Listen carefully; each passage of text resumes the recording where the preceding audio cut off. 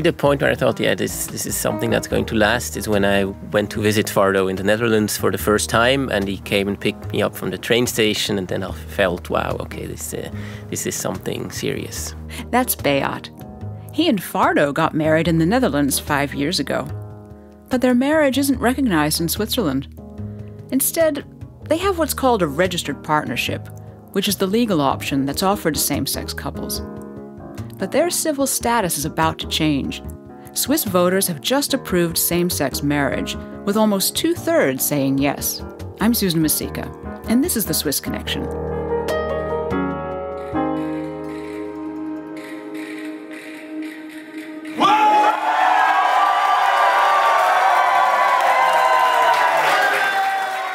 As the vote results came in, I was at a public viewing in Bern. It was hosted by Operation Libero, a group that helped campaign for a yes vote on the Marriage for All referendum. The atmosphere was jubilant. There was even a rainbow wedding cake. I was chatting with some people about why the yes vote was so important to them, like Alain and Laurent. I saw the other countries like France and Germany uh, accepting this law, and I was sure that one day Switzerland will do the exactly same step.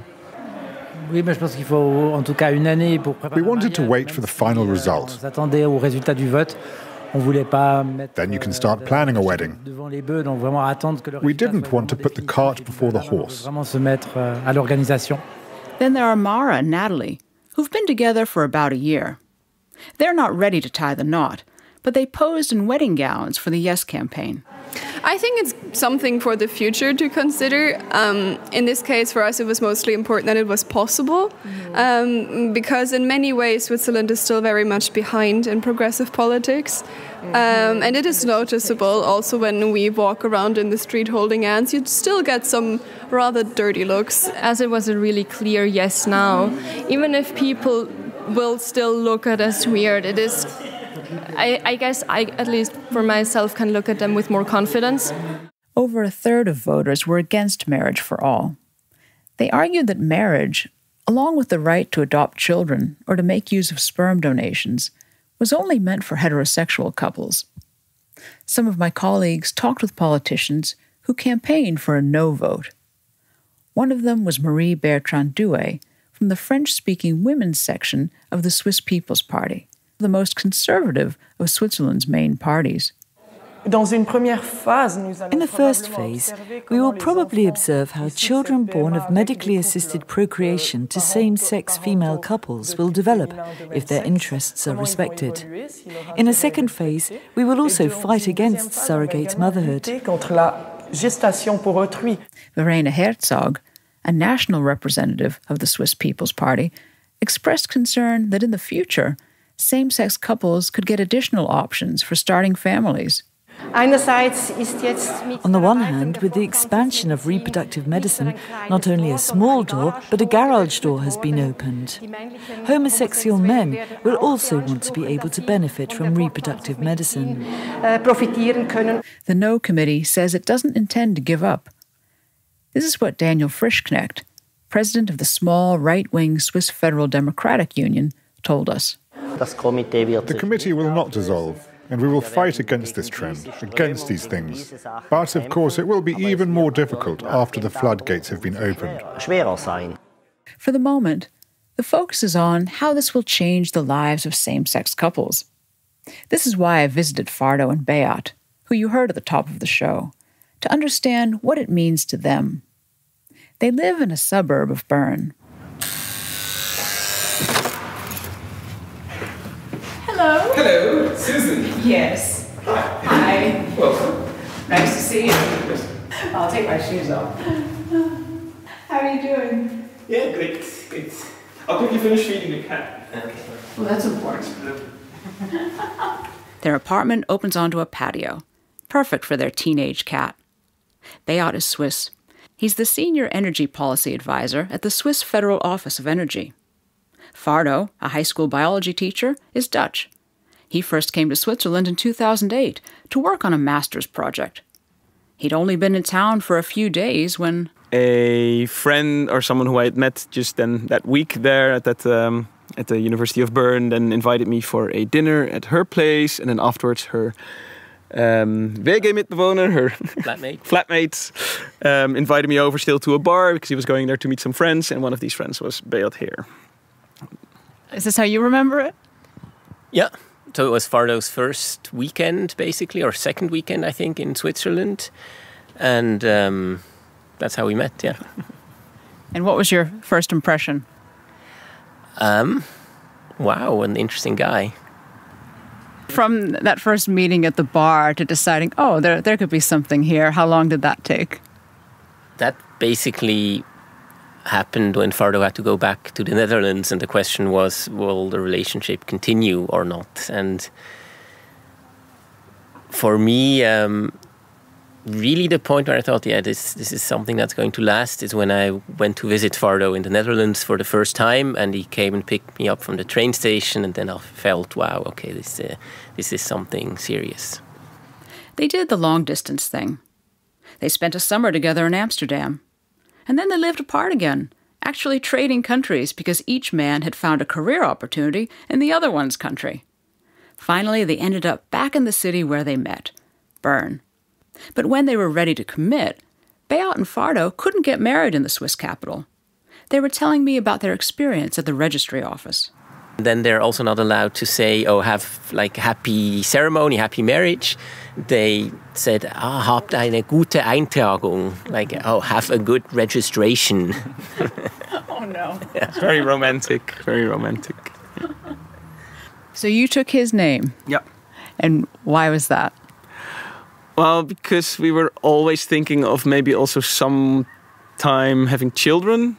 And I thought, well, if we then have a mom and two dads and three family names, it'll be too complicated. So we'll just keep it at two family names.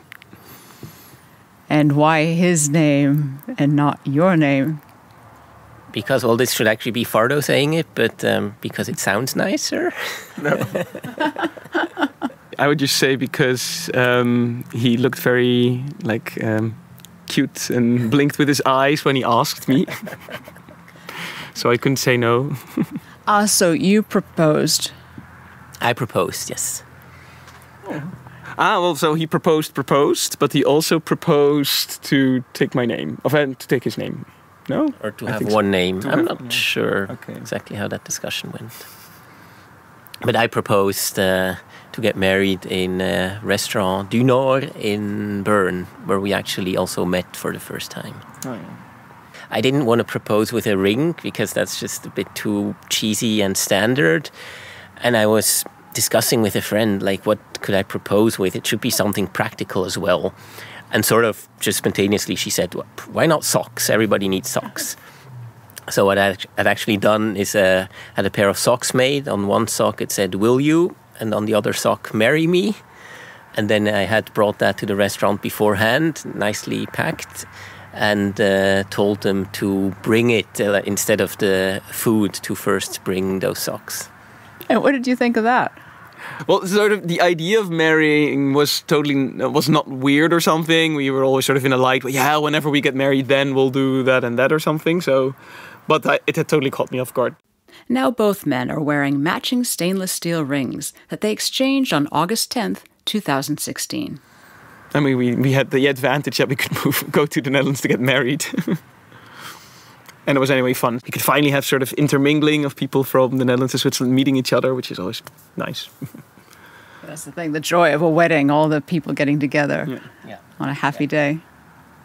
Which was also one of the main reasons I think to get married. Also, just to um, yeah to celebrate our love, basically, because from a legal point of view, there wasn't really any reason to get married except that probably we pay a bit more taxes. no, that's not true. So there's one thing which we haven't discussed yet, which is for me was for me the most concrete difference between marriage and registered partnership is that um, to get naturalized as a Swiss person when you're married, it's much easier. If you would get married, it doesn't matter where you live. You can move as much as you want, and you know you only have to go once to the federal state, and it's done. So that was for me really the, the critical difference. So I guess now you're going to have to get married again here in Switzerland. Yeah, there's definitely an expectation from a lot of our friends that there will be another party. and also for Fardo to get Swiss citizenship, uh, it's definitely a reason to really get married in Switzerland and not just have this registered partnership. Whether or not they have a formal wedding ceremony in Switzerland, when the new law takes effect, most likely in July 2022, Fardo and Beat can convert their registered partnership into a marriage. So then they won't just be partners, they'll be husbands. And as Fardo was saying, that'll make them eligible for facilitated naturalization. As a married couple, they'll also be allowed to adopt children together. At the same time, married lesbian couples will have access to sperm donations, which is also something new. Beat and Fardo were telling me more about their family planning. We've anyway been looking into starting a family already for a while. The model that uh, we prefer is actually a co parenting with two dads and one or two moms. And for that, the new law doesn't change anything because um, that's anyway, in principle, of course, just allowed because you can have children. But for the rights for the children, there's still a ways to go because officially a child can only have two parents. Um, yeah, now be it two moms or two dads or a mom and a dad, but three or four parents uh, is not possible yet legally.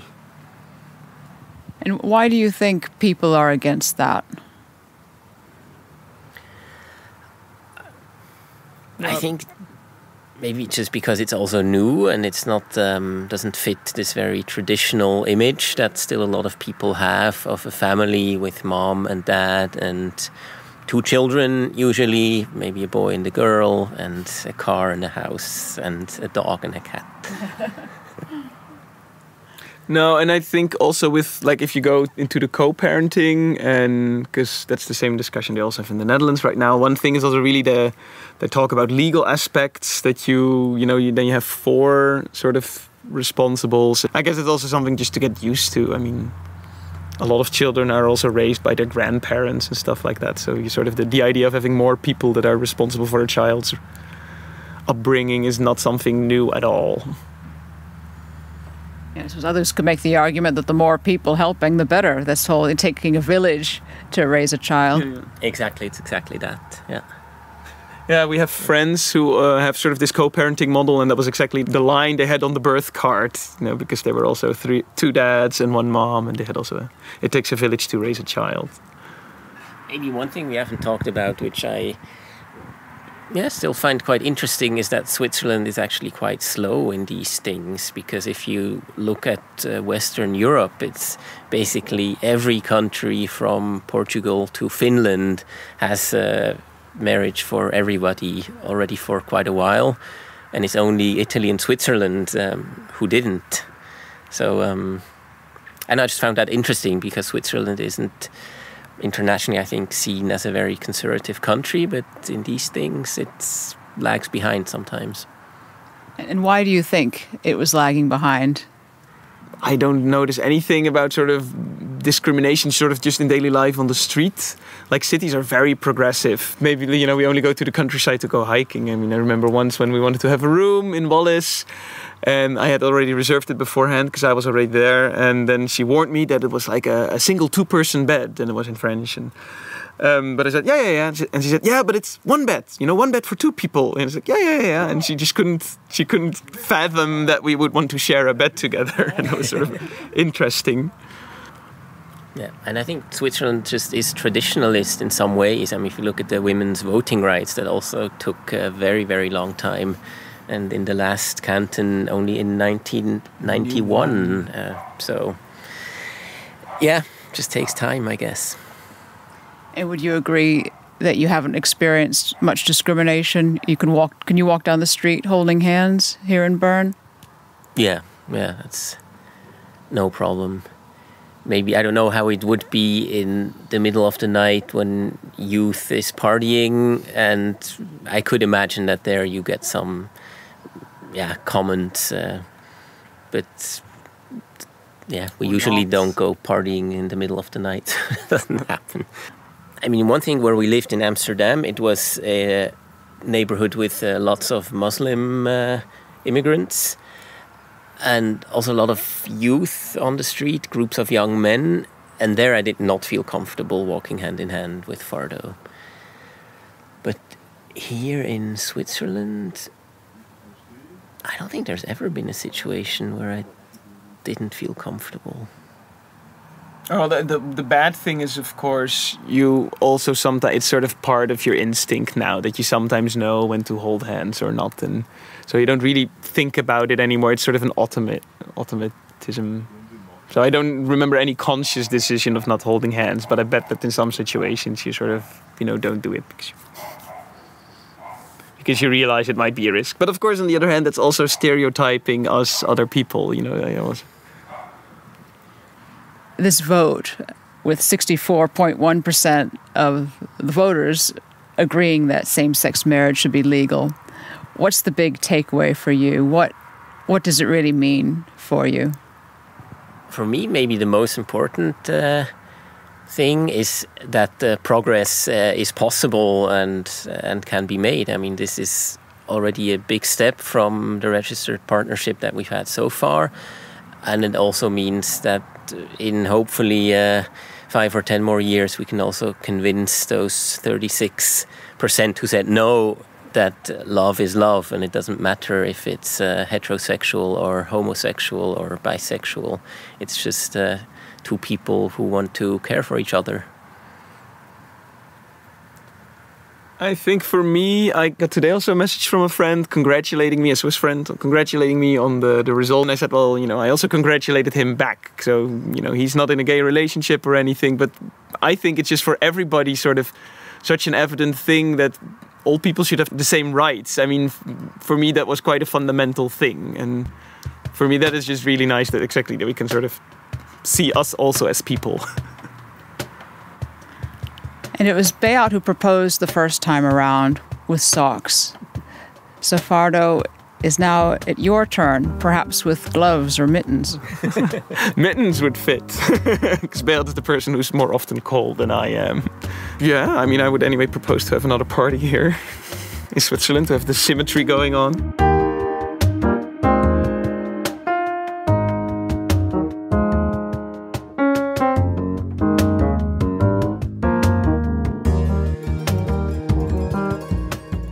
Swiss Connection is a Swiss Info production.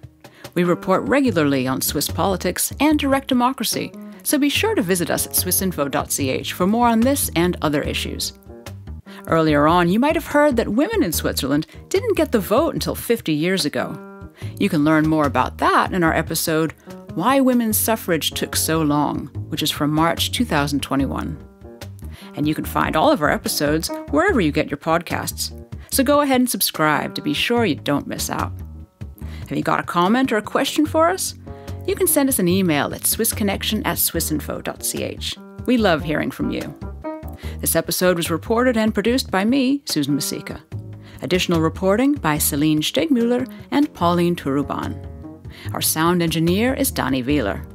And the theme music you're hearing now was composed by Michele Andina. Thanks for listening.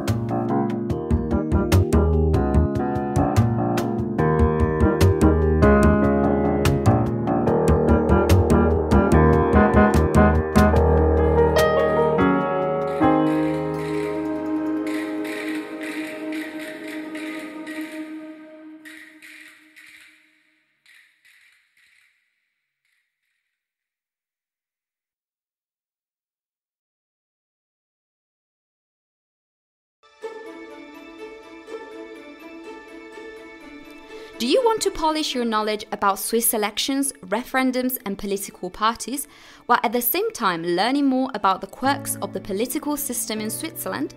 If that's the case, our newsletter course is just what you need. Each week for a month, we'll send you a free installment explaining the most important details of how Swiss democracy works. Our course teaches you who's eligible to vote in Switzerland, what the different parties stand for, how election and popular vote results are implemented, and what distinguishes Swiss democracy from other political systems. Our crash course is interactive, like democracy itself. Your questions will be answered on an FAQ page, and you can debate with other users and share your inputs and opinions. We will also provide links to multimedia articles and videos to help you better understand the Swiss democratic system. Please join us and sign up for the free Democracy Crash Course newsletter at www.swissinfo.ch/democracy. That's www.swissinfo.ch/democracy.